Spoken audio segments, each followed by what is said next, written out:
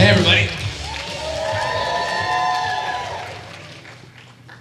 I, I'm a little concerned because I'm the red shirt on the stage today. That puts me in a bad place. Well, welcome. Did you wear that shirt just so you could make that joke? Uh, no, actually, I didn't. I, I, I actually wore this shirt because it was the clean one. I, we normally, my crew normally wears Hawaiian shirts, and I forgot my Hawaiian shirt for today, so I had to find the better shirt. So it turned out to be the, as my wife calls it, the burgundy shirt. But yes, well, welcome, sir. Thank you for being with us here today. Pleasure. Excellent. Uh, before we uh, go into uh, a, a journey where we uh, go beyond sight and sound, or where we we travel beyond Different show. Yes. Uh, I'm curious how you stumbled into this life. So, as a, as a person, I know you, you have a, a BA, you, you went to college, you, you have a, a, a worldly experience, but how did you get into this dream, so to speak?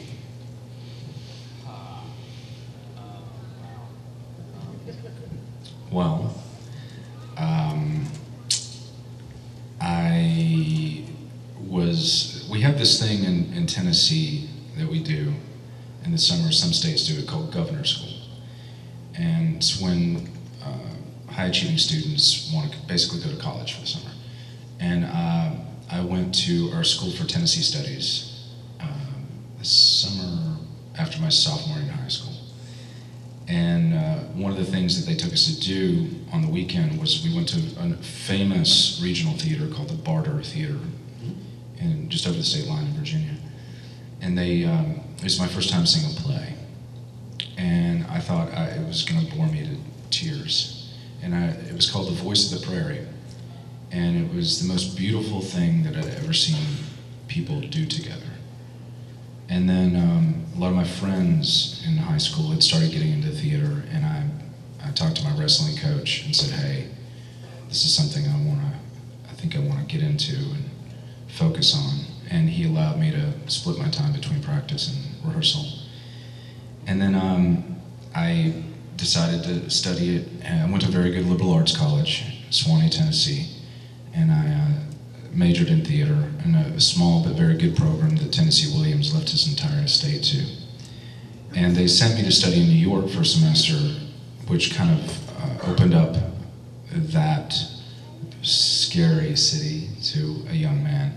And then I applied to graduate school and I got into Columbia and I studied the classics for three years. And then I was like fortunate enough, um, s- uh, some agents at William Morris happened to be in the audience for something and signed me when I was still in school. And then uh, I just started working. And I, I, I still feel like nobody really has asked me if I want to do this. Do you want to do this? yeah, I think so. It's been, it's you know, uh, I, I think um, I don't know why I'm like this, but um, storytelling is very important to me. And I think it's important to us. I think there's something intrinsic in human nature. There's something, we're, uh, you know, we're social animals. Yes. And there's been a lot of talk about, you know, the, the death of movies or the death of movie theaters. And I actually don't think that's ever going to happen because I think that there's something in our makeup that always will always want to gather around the fire together Yes. and hear a story told. Absolutely, and and it's intrinsic in our nature as as communities to build communities and tell our stories, and then also project our future into ourselves and say, where are we going with this? And we imagine new things, and that's what this con is about: is both innovation and culture coming together. Uh, as you went through, because it, a, a start in theater is not always a start in cinema, and theater is can be uh, very up close and can be very raw because you're in the room with the people in the moment. Was there a particular production or play that really sort of catapulted you even further on that road? Uh, it, w- I mean, the first play I did, I was like the guard in 12 Angry Men. right? But that first performance, uh, when I walked out on the stage, um, and I felt that connection Yeah. with the audience, um, it was that prototypical lightning strike of love at first sight, and I, I, I remember it like it literally was like yesterday. Um, and I, there was just no going back from there. Um, I mean, there are a lot of high points along along the way. Oh, yeah. You know, doing my first New York play, um, having my life threatened.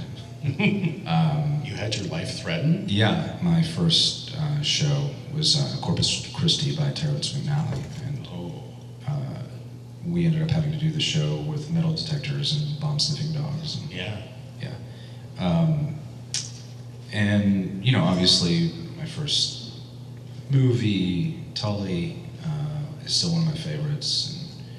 And it's been, uh, it's been a great, great, and obviously, you know, Hell on Wheels was a chapter of my life. Oh, and there are many Hell on Wheels fans here, trust me. I know that's been that's been interesting at these cons. I've seen several people dressed as you, so. yeah.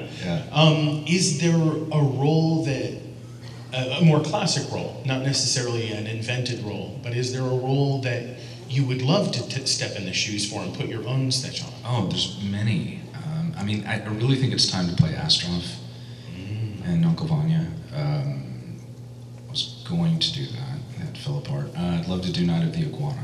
Ooh. And um, I really, there's an obscure Jacobean play called The Changeling by Tom, Thomas Middleton Yeah, that I'd really like to play De Flores. Um, yeah, there's a lot. There's a lot. I, I kind of went through my Hamlet phase. I'm not interested in that anymore. Um, You're over Shakespeare. I did my, my I, I, did get to do my dream role in Chekhov. Uh, I played Solioni and the Three Sisters. Great cast. Uh, Peter Sarsgaard uh, played. Uh, um, uh, was it Vershinin? Yeah. Uh, Maggie Gyllenhaal played Masha. Um, who else was in that show? Well, in Ireland. Chekhov is, that's off Josh. Hamilton was playing uh, Andre. It was a really good cast. Excellent. So, as your journey's continued, you've done film, you've done TV, and now you're stepping into the shoes of uh, a character who has some establishment in, in a world that is massive, it is broad beyond measure. Um, to boldly go where no one has gone before is, is a small statement when we talk about how the Star Trek universe has influenced both culture and science. Um, and we've had panelists here who've been on many sides of the, the, the Star Trek curtain, from scientists who have influenced the art to people who have been in the art and influenced the science. And you're stepping into a role that I, I personally have always loved it, and when uh, several actors have, have portrayed it, it's always been nice to see, but I'm looking forward to, to you putting in on that particular uniform uh, for us. So, how did you get on this particular track?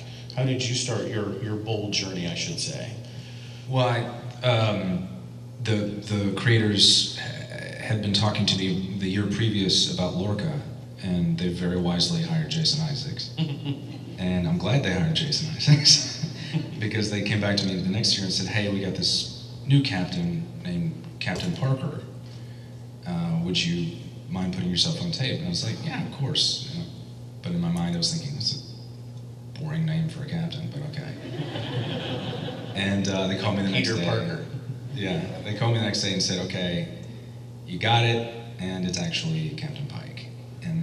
I have chills. past Right now, I have chills. You know, because I've been been a, a Trekkie for a very long time, so that um, yeah, that that um, blew my mind. And then, wa- you know, walking on the set for the first time, sitting in the chair for the first time. Literally, it's really it's the job has remained uh, surreal to me for the longest. I mean, I did a movie with Robert De Niro. Yeah. I, I just did a movie with Anthony Hopkins. There is nothing more surreal than finding yourself on the bridge of the Starship Enterprise.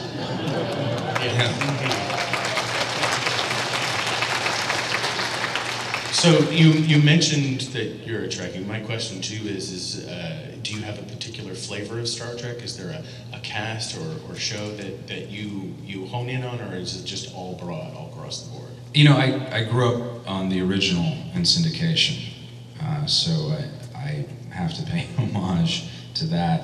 Uh, but then, you know, the next generation was high school for me. But then when I got into college, I, I stopped watching TV, and suddenly it was seven years later. So I've got a lot to catch up on still on the next generation. Um, but those two, you know, those are seminal. Excellent. If you could have stepped into those casts, would you would you want to play a character that already exists, or would you want to step into a new role? I think Data is like the best. I met Brent finally. Finally met Brent in Las Vegas a couple weeks ago, and he he uh, got out of his car and he goes, "Hey man," I was like, "Hey, finally." And he goes, "Man," he sits down and it turns out he's a huge Hell on Wheels fan. He's seen every episode. And that's all he wanted to talk about. All I wanted to talk about was Data. No, no, no. You're Star Trek. No, no. Hell on Wheels. Yeah. I, I, It's like my father was a sports writer, right? oh yeah. and uh, but originally he wrote uh, theology, and he was invited uh, to a, um, a worldwide religious conference hosted by um, Sun Myung Moon in the 1980s, and he he went because he wanted to talk to Sun Myung Moon about religion and evangelicalism in, in South Korea. And uh, all he got there, and it turned out all that Sun Myung Moon wanted to talk about was football. And and that's your mom. So your dad was a sports writer. Your mom was in golf, right? My mother was a professional golfer. Nice, nice. That, that's that's a match right there. Um, when when you got offered the role and you knew you were going to step onto the to the to this set, was there anything you did to uh, bolster yourself for that, or did you feel like you were instantly prepared for it? Uh, pray. uh,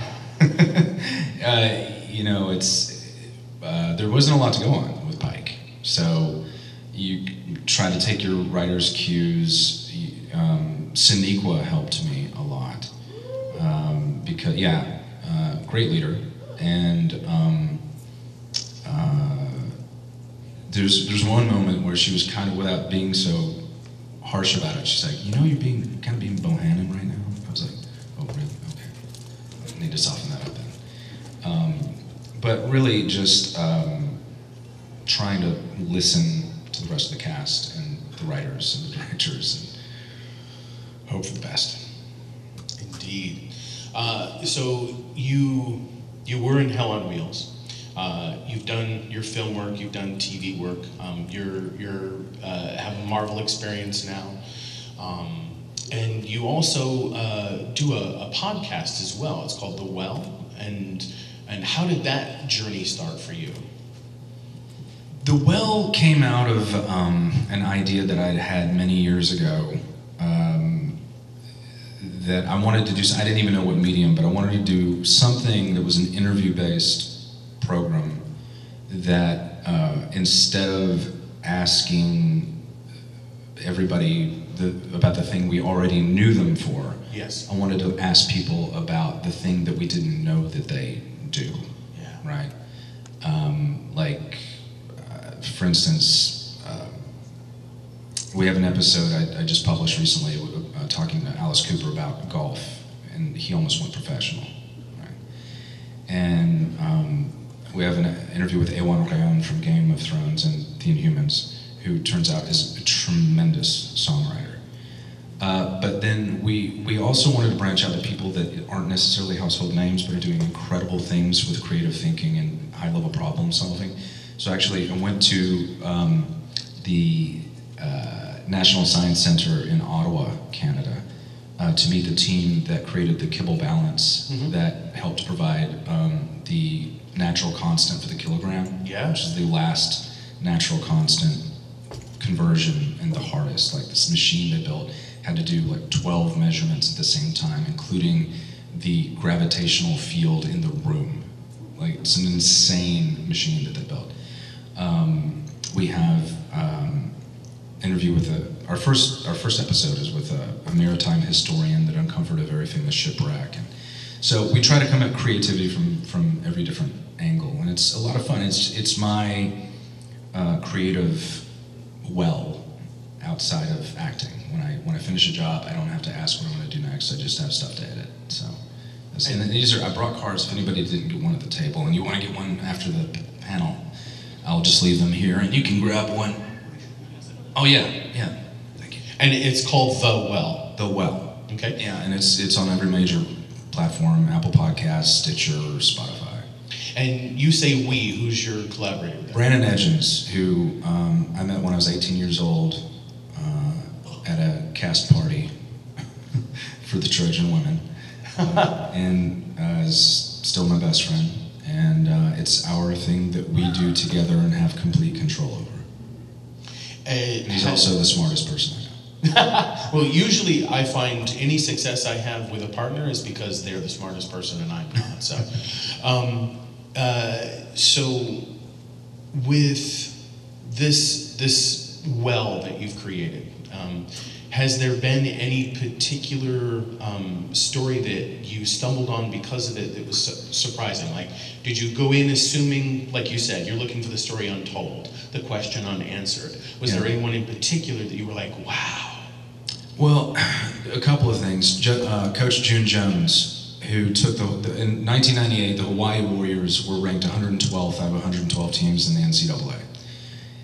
The next year, uh, Coach June Jones left. He left the Chargers, head coaching position of the Chargers, in a winning in a winning season.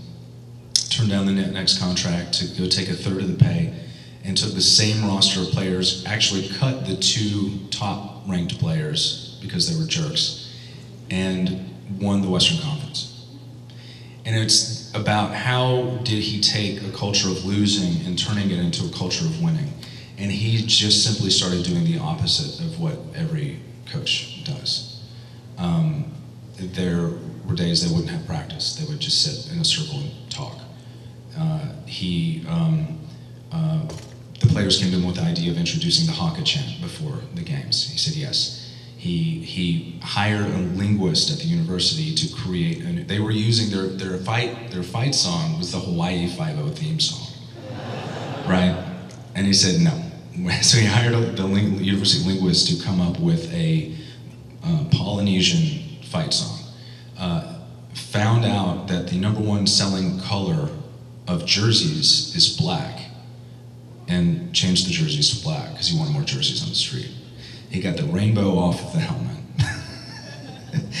and then he started making um, promotional videos for their commercials, and there, he was just like, "Give me all the video of all the hardest hits," and just stuff like that, you know, um, and and claiming that the his his secret is love. Um, and then there's also Ward Fleming. The do you know the pin screen? You know that thing, that novelty toy. You put your hand in it and it makes a perfect impression with all these pins. Ward Fleming invented that, and um, his the, the newest stuff he's working with. He's working with ball bearings on a gravitational or a, a, a vibrating surface, and um, it is the only uh, physical representation of BZ motion that is ever, that has been discovered. Wow. And BZ motion is the motion of, of uh, uh, liquid crystals uh, at the, well, at, maybe plasma crystals at, that you can only find at the hearts of, of giant planets, say Jupiter. Uh, didn't expect that. You know, just think, yeah, you run into crazy stuff all the time. So you've got the well to go back to when you need to fill back up. You, Yeah. know, you, you do your, your con life, you do your you know theater and film. Um, are there are there other pursuits or avenues that you're starting to take on? I know you got married last year, um, and I'm sure that's a, a whole nother journey in of itself. But ha- has there been other pursuits that, that are now on the horizon that you're looking forward to? Yeah, I, you know, we, we just bought my first house. And, um, you know, I was, a, I was a stage carpenter when I was in college and never thought I would want to utilize those skills again. But as, as soon as we bought the house, you know, there was this thing that happened. Like, we were looking for, I had a very specific idea of the bed frame that I wanted. And could- the only one that I found that was remotely close was like nine thousand dollars. I was like, paying nine thousand dollars for a bed frame? I can make that. And I was like, a couple weeks later, I found myself. I realized I was sketching out my wood shop, and I stopped. I was like, what? Why am I doing this? And I, I was like, is that a law that ev- every man who buys a house suddenly has to make, must build, must fix. It's something genetic, right? but I'm getting really excited about it, you know. Uh, and my, my uncle is actually, he teaches woodworking, so he's a great resource. It's always nice to have friends and family to help out. Yeah. Well, uh, I think we should turn our, our friends loose here and let them ask their questions. So, ladies and gentlemen, if you have a question, you can come up here to the microphone for us. Our Don't lovely, be shy. Yes, our lovely assistant here. You're number one. Uh, I'm a big fan of Hell on Wheels. I was wondering what it was like working on that show. Um, you know, like I said, it was a chapter in my life. I, my heart is very close to that show. It's very close to Cullen Bohannon. Um, I have a lot of love for that show. I'm still in touch with a lot of those people. I was just texting with Phil Burke, who played Mickey. He's going to come up and hang with me because my wife's in Canada. John Wirth was just at our set. We did a surprise second wedding ceremony, which we told everybody was a housewarming. John Wirth, the showrunner, was there, as was Chad Oakes, the, the Calgary producer. Um, it, you know, I the, the best part of Hell on Wheels is that it was all days exterior, which is really kind of it's a producer's nightmare.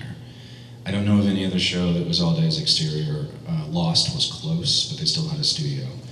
We had a studio the first two years, but the second year we used it all of five days. So we decided to save money on that and just do everything in the field. Because even those buildings we had, they were just clapboard set set pieces. You know, they were functional buildings, but they were just boards.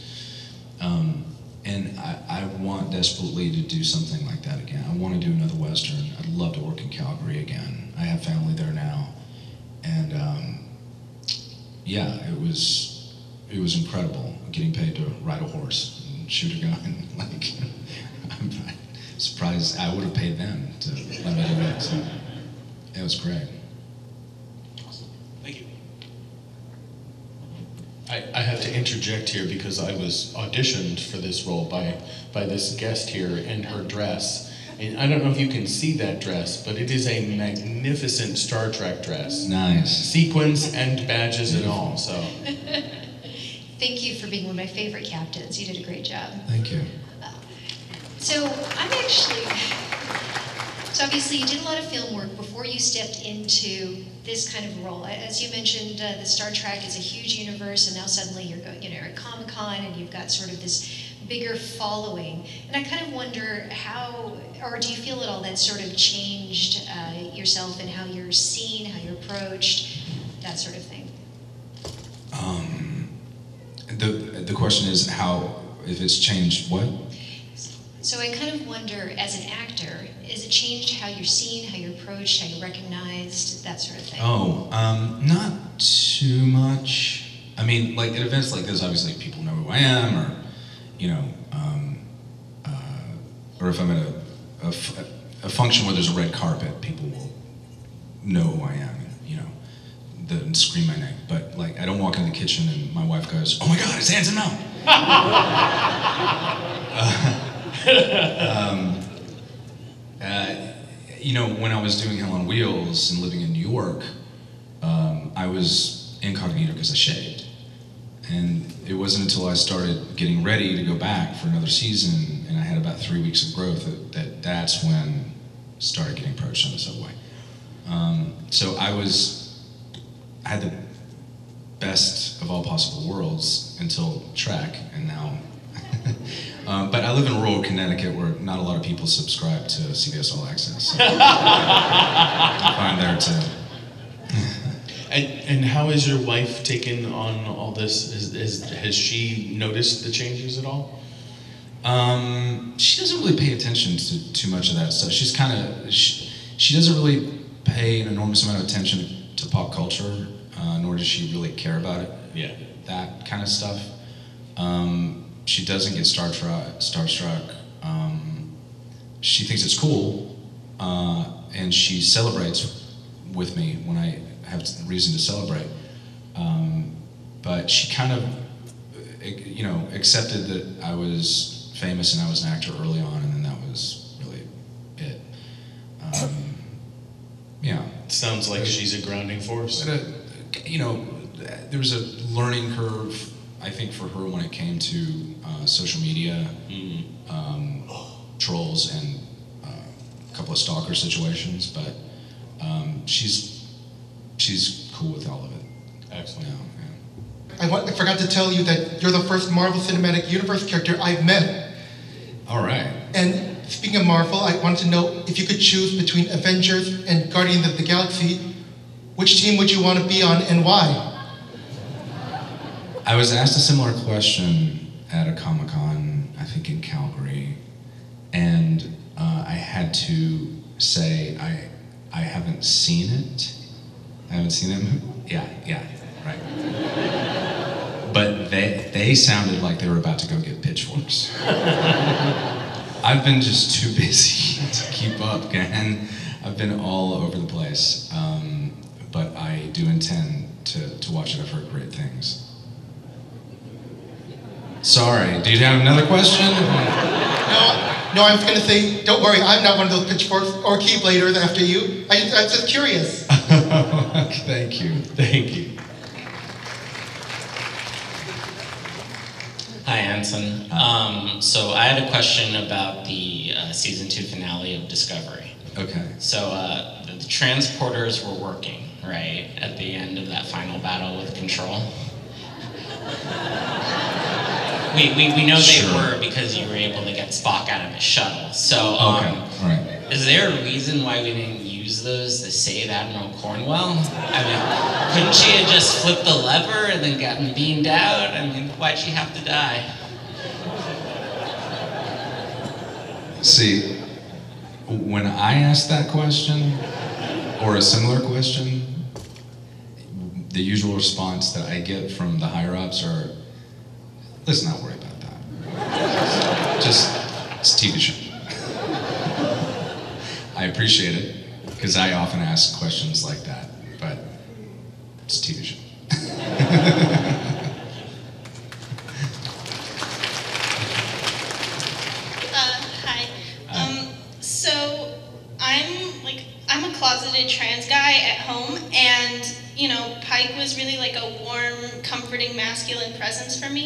So how did you take like Pike, who was kind of cold in the cage, and like make him such a warm, inviting character? That's a good question. I guess I didn't think I didn't quite see it like that. I I don't think I didn't think of Pike in the cage as being cold. I, I thought of him as being a younger, a much younger man uh, who's has some real going through an existential crisis um, that is somewhat self-centered, as young men can be. I have been in the past, and probably still am in some ways. Um, so, and I and I didn't think about so much about being warm um, as I did. I, I I knew that Pike was Roddenberry's original vision for what a Starfleet captain should be. So I did know that on some level he had to be the embodiment of Starfleet code and conduct. And so I kind of tried to do that, um, along with certain uh, clues I'd find in the material. Like he's that first bridge scene, he gets everybody's name immediately, um, and he asks them for their ideas. He's a man who knows his greatest asset is his crew, and so you want to treat your greatest asset with with care. Um, so maybe maybe that's a cold way of uh, of of looking at it, but uh, I I appreciate that you saw it like that. Does that answer your question? Yeah. thank. Cool, thank you.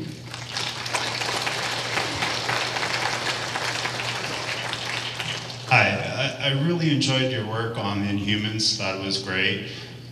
Wanted to know how, since one of the actors' medium is your voice, how did you approach that part where you had no way of speaking other than communicating through hand motions? Well, that's the reason I did the job. Is I wanted that challenge. You know, I like I like oh shit roles. You roles that make, when I read them, I go, oh shit, oh how am I going to do that? Um, and Need that on a T-shirt. yeah, and because also I realized immediately, I was like, okay, he wouldn't know ASL because he's not from Earth. So I'm gonna have to create my own sign system. And that's just one of those nerdy things that I really love to geek out on. so um, it, that part of it was a joy. Now, now getting yourself from the brain-mouth connection to the brain-hand connection is another matter entirely. Now, if you watch these lovely ladies who are doing a great job, by the way.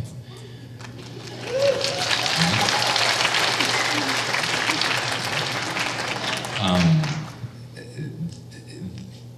they look, that they move like similar to an orchestra conductor, which is one of the things I would go and do when I was getting ready for that role, is watch the orchestra conductor. And there's a great concert in the Guggenheim around Christmas time where you can go around the loop and you can actually stand where you're facing the conductor.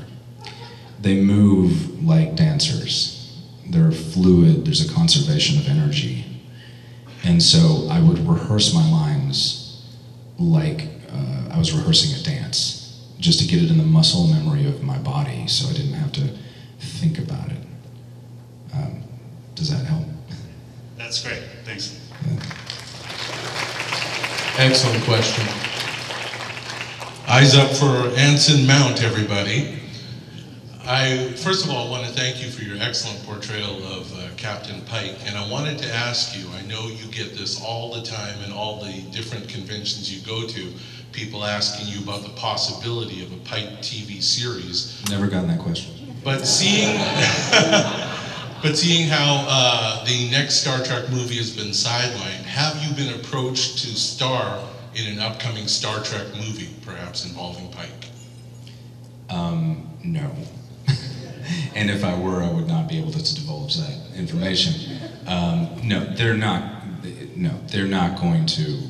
Uh, look, this is a numbers game, all right. And these decisions are made by people with MBAs, not MFAs, and so they're not gonna. They're not gonna put me in in a movie as a lead and put it on four thousand screens. They're not gonna do it. It's it's. Uh, you know, if if they decide it makes financial sense to do a, a Pike spinoff, I'd love, I'd be very open to talking to them about it. But um, you know about as much as I do in that regard. Um, so you know, we'll see. I do know that they're listening. You know, they're they're they're noticing what people are saying on social media, and um, so i- you know, if you if you want it, talk about it, tweet it, write about it. Um, it does, you know, they are listening. So we'll see. I don't know. I need a job at some point. Sounds like we need to start doing our own work here. Thank you and good luck. We'll be signing the petition for that. Thank you. Appreciate that. Hi. Um, when you got the part of Pike, uh, did you get any advice from Colm Meaney, and do you have any stories about working with him? Um, you know, I, I meant to. I went to. Colm was doing a play on Broadway. He was doing Iceman Cometh with Denzel last summer, uh, and I. No, was it last? It was. Yeah, it was in the middle of my hiatus from from the season, and I had meant to talk to him about Star Trek, uh, but it was his birthday. It turns out, and he took me out and got me ridiculously drunk. So I think that's a story in and of itself. yeah, and uh, we, I mean, we had chatted about it uh, every now and then because on Hell on Wheels, um, our our DP Marvin Rush was um, camera op on uh, Next Generation, and then uh, DP and sometimes director on Deep Space Nine. So they um, occasionally it came up, uh, but I never thought that I would end up in Star Trek. So, uh, you know, it, it was never a cause for a conversation uh, other than my own fandom. And now I've done it, and I'm doing these conventions, and I still haven't fucking run into Colm Meaney.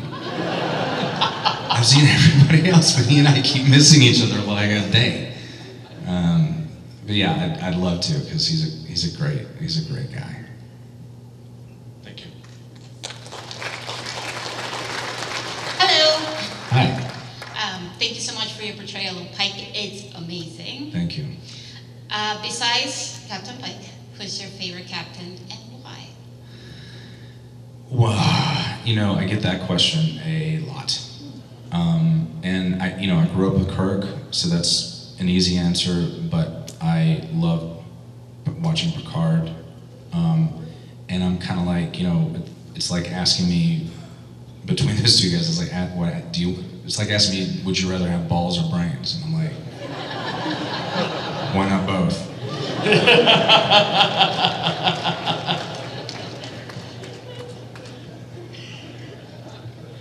hi, Anson. Uh, any funny or memorable moments from the filming of Discovery?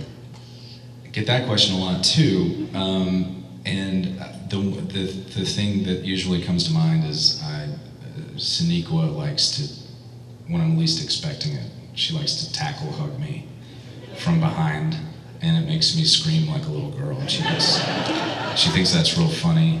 So God, I it it is so. I never, I never get wise to it. And so yeah, yeah, that and um, I you know every day is a riot with Jonathan Frakes when he's directing. So yeah, we, we always he, I make fun of him for the way he because he, likes to be on set because he's a fucking actor and he doesn't like to go back and be video village. He has a little monitor on the set, and when it gets to the end of a shot, you know, he likes to let the camera linger for I don't know extra material or for to extend his possibilities for cut points. And you'll always you'll be holding a moment, and you'll hear Jonathan Frakes going, "Yes."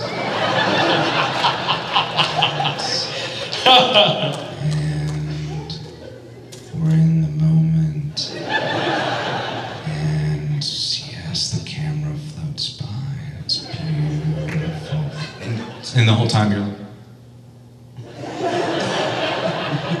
And then, and then, and then he'll shout, "Capri!" Excellent. Alrighty. So we're at Silicon Valley Comic Con today, and, and this particular convention is unique in that it tries to marry not only pop culture, uh, cinema, but also technology and innovation.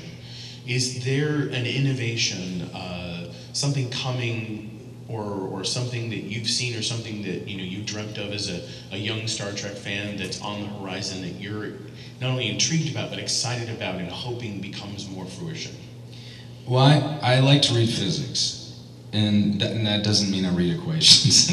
okay, I read I read I like to read books by physicists that are written for the layman. Um, and I was just talking to to Spiros uh, uh, Mi- Michaela Michaelkis. Yes. Spiro, you're here. Spiro, here. Uh, okay. Did I get did I get your name wrong? Yeah. Sorry. Michaelkis. okay. All right. Sorry, but we were just we're just talking, um, and uh,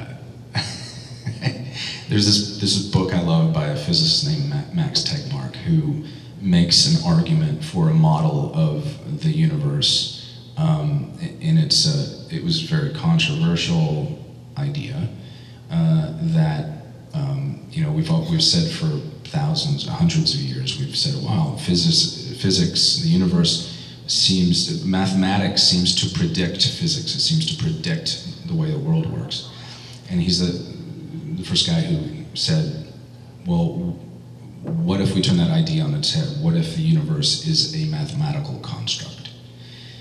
And uh, and Spiros was uh, talking about this and a couple of other crazy ideas, and he was like, "That's crazy. This the other idea is crazy." But now this guy, Max Tegmark, who you were just talking about, that, that he has this idea that's even crazier about math, the universe being mathematical function, but he is right. I was like, really? and then he explained to me, and my head was blown. Um, so I, I, I, I think that there is. Uh, I was talking about. I was talking to the Woz yesterday about the, the marriage of um, entertainment, human curiosity, and engineering, and just in human endeavor. And he sees uh, um, tremendous potential in that. I mean, like you know, we're, we're ta- also Spiros and I were talking about the momentum of discovery that's going on right now. Um, it's incredible, and it's just about to get faster.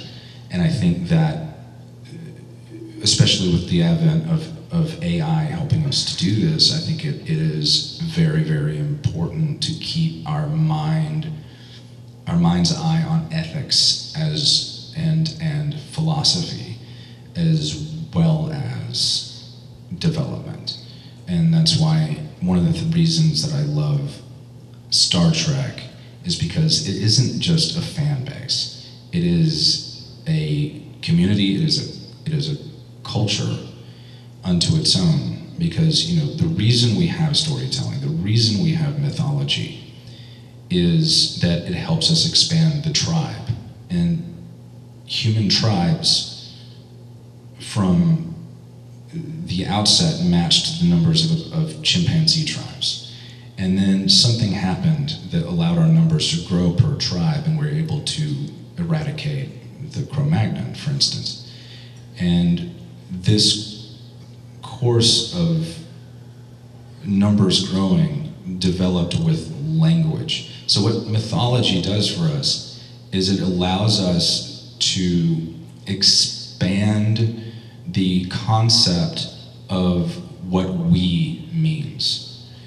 Um, and everything else that binds us together is mythology, but I don't see mythology as a, as a, as a negative frame to look at, at, at us. Uh, you know, there is no such thing as a nation, but nations do exist. There's no such thing as money, but money does exist and helps us to form a more cohesive, more productive world. Um, Star Trek is mythology, but it is real. And I thank you for letting me be in your house today and for letting me part, be part of your tribe. That's all I got to say.